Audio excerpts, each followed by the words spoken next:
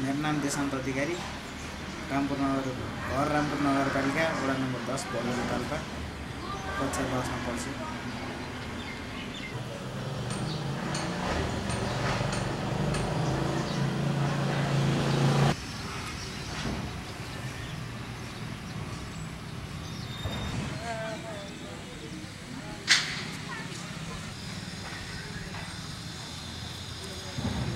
घरकाबाट नि भन्नुहुन्थ्यो पुच्छर लुगा कसैले नदेखा यस्तो हिँड भन्नु भन्नुहुन्थ्यो।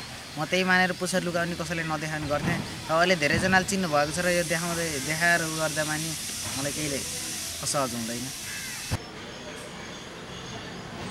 टिकटकमा नि एउटा भिडियो भाइरल भएको थियो र त्यो भिडियोको कारणले गर्दा चाहिँ धेरैजनाले मलाई चिन्नुहुनेछ।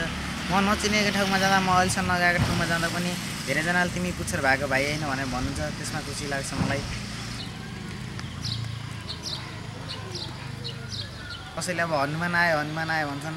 कसैले शिवजीकै नाम जोडेर शिवजी भनेरै बोलाउने गर्छन् गाउँमा धेरैजनाले